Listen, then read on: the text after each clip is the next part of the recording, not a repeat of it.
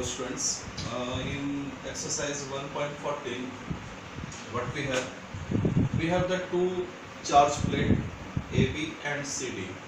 On the plate AB we have certain positive charge and on the plate CD we have uh, certain negative charge. And we have the three particle 1, 2, 3 which are started from there with certain velocity and they have different deflection.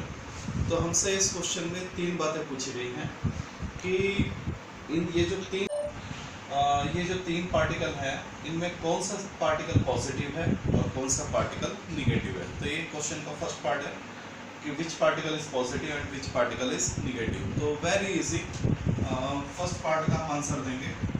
Since particle one and two are move toward positive plate AB. Hence, they are negative. Particle one और two किसकी तरफ़ मुड़ जाते हैं positive plate की तरफ़ तो positive की तरफ़ कौन से पार्टिकल जाएँगे निगेटिव पार्टिकल जाएँगे and particle 3 move toward negative plate, hence particle 3 is positive. बहुत ही सिंपल फ़र्स्ट पार्ट ये दोनों प्लस प्लेट की तरफ़ जाते हैं तो नेगेटिव होंगे, ये नेगेटिव प्लेट की तरफ़ डिफ्लेक्ट करता है तो ये क्या होगा? पॉजिटिव इस क्वेश्चन के सेकंड पार्ट में हमसे पूछा गया है कि किस पार्टिकल के लिए charge to mass ratio highest होगा?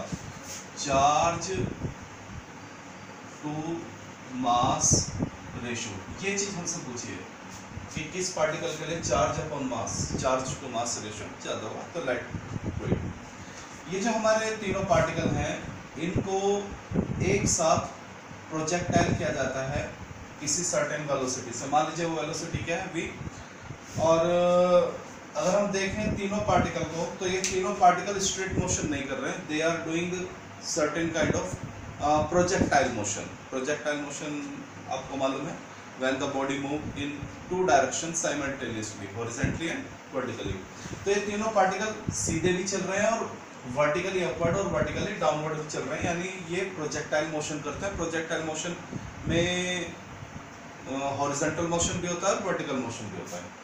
तो हम one by one since particles are doing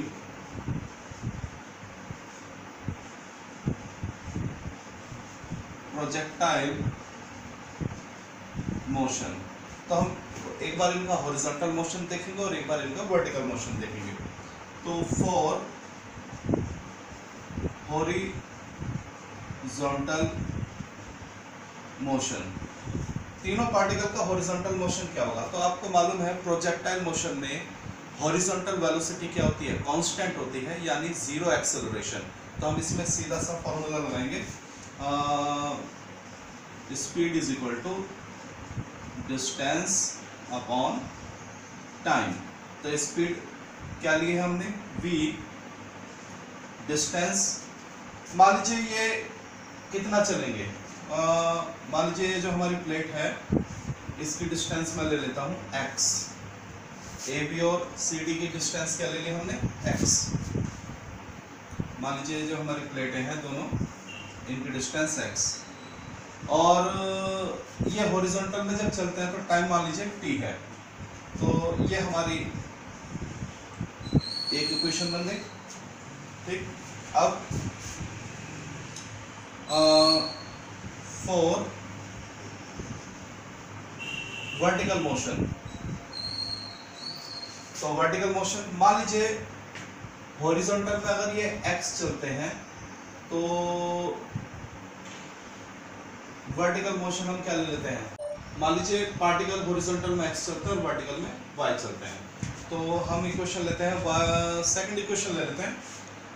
Y is equal to u t plus half a t square y is equal to initial value से हम क्या लेकर चलते हैं? ज़ीरो तो this term will become zero plus half a t square y is equal to half अब हमें जो t की वैल्यू है, वो तो यहाँ से मिल जाएगी. We will get the value of t from there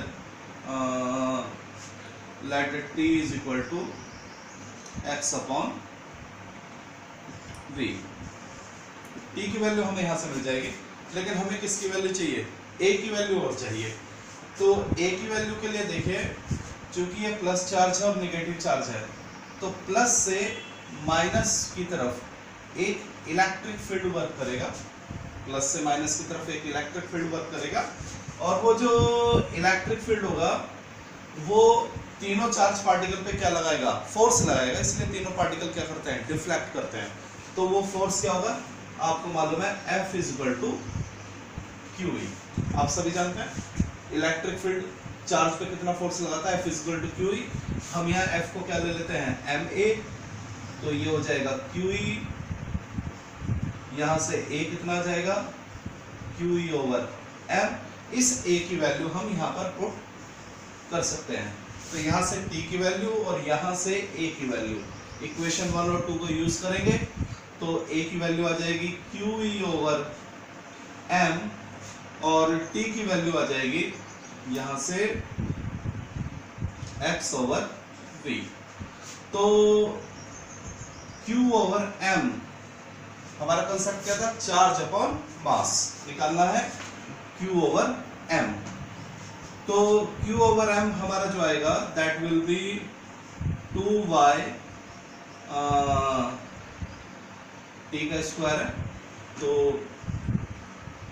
we square ऊपर जाएगा और E और एक्स स्क्वायर नीचे आएगा। तो यानी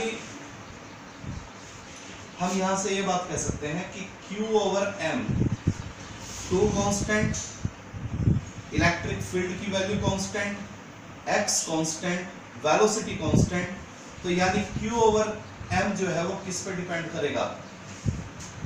हमारा जो चार्ज टू मास रेशियो है वो डिपेंड करेगा कि जो तीनों पार्टिकल है वो वर्टिकल में कितना डिफ्लेक्ट हो गए।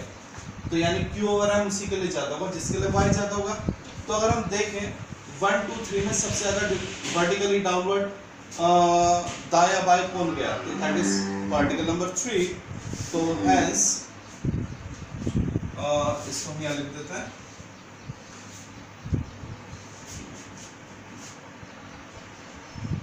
Hence, charge to mass ratio is maximum for particle three क्योंकि अगर आप देखेंगे तो वन और टू उतना डिफ्लेक्ट नहीं हुआ जितना पार्टिकल थ्री डिफ्लेक्ट हुआ। ठीक है? तो चार्ज अपॉन मास रेशो किसके लिए जाता है? जिसके लिए वाई ज़्यादा वाई यानी वर्टिकली डिफ्लेक्शन वन और टू कम वर्टिकल डिफ्लेक्ट होता है? थ्री ज़्यादा होता है। तो चार्ज टू मास रेशो ज़्यादा है किसके लिए? पार्टिकल थ्री के लिए। तो दिस इज़ द आंसर